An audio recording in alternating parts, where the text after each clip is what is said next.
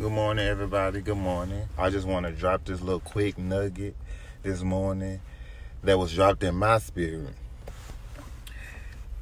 It is that the key to healing is connection. So we have to become connected to others in order to heal. Because when we go into isolation and be alone, we start to be in our head and our thoughts and our patterns are going to be the same because that's all we know.